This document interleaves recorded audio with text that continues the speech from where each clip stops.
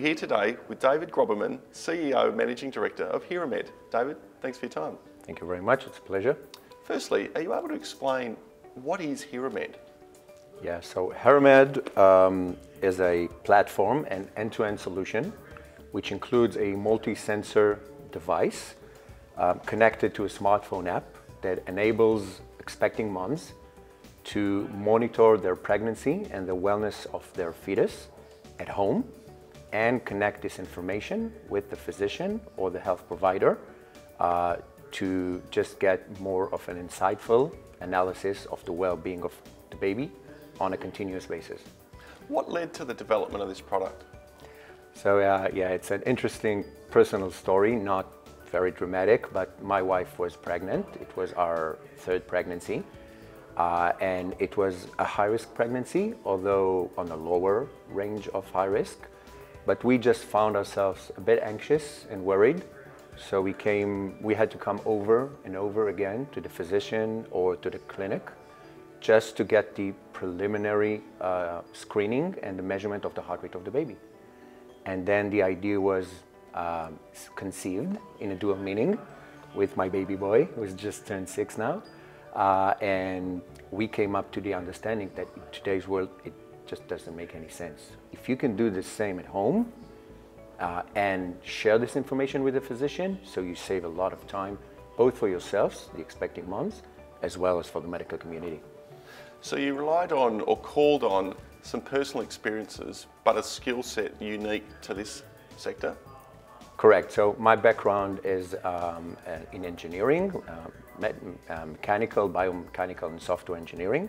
And I've been doing that for about 15 years now, uh, providing services to medtech, Israeli uh, corporates and startups. So we've done that for quite some time now and being very fortunate to have a very diversified uh, project, multi uh, uh, cross-industry kind of projects throughout many of the challenges uh, in the health tech sector. And then I, hopefully, I've been able to harness all these capabilities uh, and bring a technology which can replace this huge professional, very expensive devices that you have at the hospital uh, with a device for home use at $299 for the end user. This is more than just an idea though, isn't it? Well, yeah, sure. So now we are, the, the, idea, it was an idea. It's been five years to develop and about $5 million invested in the company in R&D. So we've passed all the clinical trials, um, all the uh, biocompatibility uh, analysis uh, and so forth. So we have a medical CE approval and it's already been commercially launched in Israel in partnerships with um, Teva, which is the, one of the biggest, if not the biggest, generic pharmaceutical company in the world. Uh, and hopefully very soon we're going to deploy that further to Europe. Uh, by the second half of 2019, our plan is to have the FDA and further launch it in the US. And in terms of the rollout of this technology, how rapid do you think it could occur? Well, there's a huge wave now uh, that I believe that all stakers, uh, stakeholders are embracing, if it's the medical community or entities, as well as the consumers uh, of uh, throughout all the healthcare industry. So we have a digital native uh, generation that are looking for solutions to come to their doorstep. So I honestly believe, and I'm being a bit cautious and conservative here, but I believe that within a year, we're going to see that out there practically almost each and every expecting mom will want to use this idea. And one example that I can give is that, you know, only uh, let's say 10 years ago, in order to get your blood pressure uh, measured, you had to, doctor, to go to the doctor's office. And it was very complicated and only a professional could do that. Today, you have pretty much in each and every home, you have a connected, very simple blood pressure monitor you put it on your arm, you press a button, and that's it.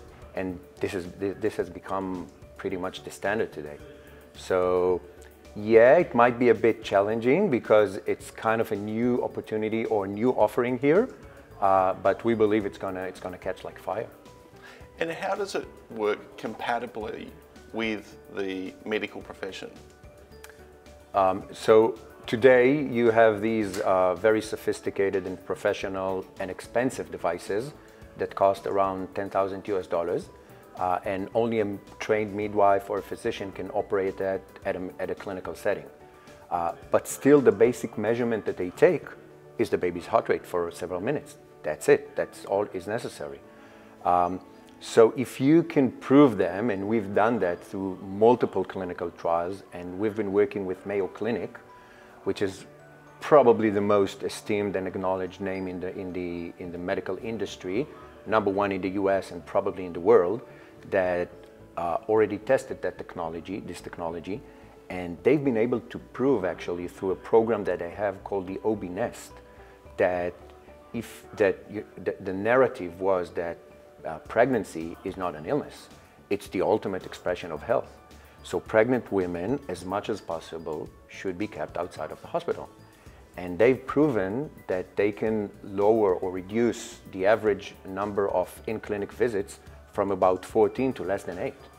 So just think about the time that is saved for the expecting moms, but particularly for, for the um, professionals, and the cost that is saved because of that. So as long as the outcomes of the pregnancy are at least as good as, and potentially maybe even better, and as long as you keep expecting moms and young couples he uh, happy and satisfied and reassured, then you know all, all sides of the equations are, are, are happy to embrace that technology. You currently have a prospectus open for an right. IPO on the ASX. What's the reason for coming to the ASX and what do you believe funds secured through the IPO process will give the company moving forward? Yeah, so it's, it's been extremely exciting, quite of a journey. Um, we've done some private equity. We had uh, uh, external funding, internal and external funding uh, in the company before. Uh, we were also leveraged by the Israeli government, uh, which is very interesting. We have a project in Israel where uh, if you put a dollar, then the Israeli government leveraged that by an additional dollar for innovative startups. Um, and now we decided to come to the ASX uh, because first and foremost we see, the, we see the Asian market as a very, very substantial market for us. Um, China, obviously, Indonesia, uh, India, which is not far, uh, and we believe that headquartering here in, Aust in, Australia means a lot to us and can be, yeah, be placed as a perfect uh, outreach to go out there to, to the Asian market. On top of that, as far as we understand, and we get a very good feedback from investors and from the ASX, the ASX is very open to early stage startups um, as long as there's a, a concrete uh, commercial success already uh, and, and a venue to exactly how to deploy uh, the, the commercial uh, business model further. You've been able to build a strong relationship with insurance companies in Israel. Are you able to explain the relationship, but also the purpose? Sure. So um, it was very interesting for us to learn that uh, insurance companies target pregnant women because it's a very healthy population early in life. They are about to expand the family. Uh, and their analysis shows that there's almost a single time in life when you reconsider which, which insurance companies uh, is best for you. So there's an actual fight uh, on pregnant women and, and early uh, couples who gives the wider benefits for pregnant women.